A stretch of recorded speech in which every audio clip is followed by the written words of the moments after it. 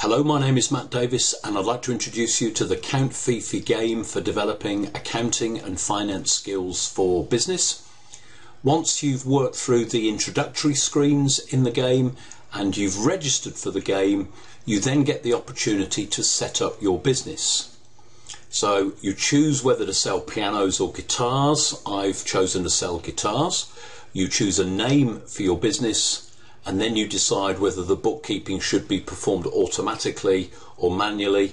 We're going to choose automatic bookkeeping, which means the debits and credits are taken care of for us. Click submit and you get a summary of the various levels of the game. We start at level zero, which is a training level, and the only objective for level zero is to end the year with a positive cash balance. So the way the game works is that you have a series of six monthly stages. So we respond to events, we make decisions. In our case, we then review transactions, review the business's financial statements, complete a quiz, and then we find out how well we've performed through the performance summary. At the start of each month, we have an event to respond to. Some are positive, some are negative. For some of them, the outcome depends on your response. So here, uh, for month one, a local newspaper has written a positive story about the business which increases custom, customer demand. We drag the event to the choice of option to find out the consequences. In this case, the demand has increased by three units. Each month you have to make a simple set of decisions for your business, how many units of inventory to buy and how many sales staff to employ. So how many guitars are we going to buy and how many sales people do we need?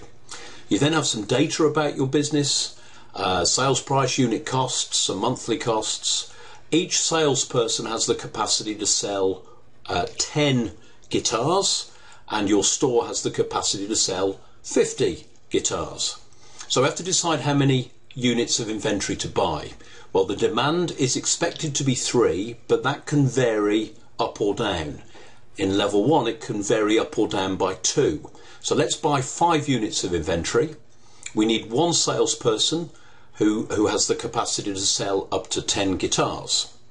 Once we've made those choices, we click done and we get feedback at level zero as to whether the decisions were sensible in the light of the demand and supply uh, information. We then have the wheel of fate, which varies the demand potentially. In this case, we've sold one more unit than expected, so we've sold four guitars. Here's a summary of the various icons that appear in the game. So now we have the transactions, which are summarized for us to review.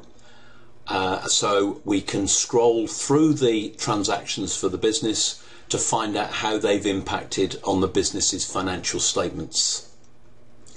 Once we've uh, reviewed those transactions, we move to the financial statement screen and at the end of every month your financial statements are produced for you and you can check your financial performance and your financial position. So we have a statement of profit or loss which looks at your performance to date and then we have the statement of financial position which looks at your financial position at the end of the month. Then we move to the monthly quiz. So your customer demand is impacted by your performance in a quiz at the end of each month. Now you can decide on the time limit. You can have eight questions to answer. You can choose 100 seconds or 500 seconds. If you choose uh, the shorter time period, your score is boosted because you're answering your questions under more time pressure. So the way you answer the questions is by dragging the question in the middle of the screen to your chosen response. If you get it right, uh, the answer glows green. If you get it wrong, the answer glows red. So you're getting instant feedback on whether you've answered these questions correctly. So the idea is, as you demonstrate your accounting and finance competence, the customer demand for your business increases, your business is more successful, and potentially uh, you're able to move to the next level of the game. So just to show you what happens if you get a question wrong, uh, we're going to deliberately uh, get the wrong answer for one of these questions so you can see how you're able to review uh, the result. So question eight, a current liability is not a liability due to be paid in more than one year. So you see the, the answer that is correct glows green, the answer that's incorrect glows red, and you can review your answers at the end of the quiz to get feed, further feedback. At the end of the uh, month, you get a performance summary which shows your score. Um, and then you move to the next month and continue for the 12 months that make up the year. And if at the end of the year you've achieved your objectives, you progress to the next level of the game. So I hope that helps and good luck with Count FEFE.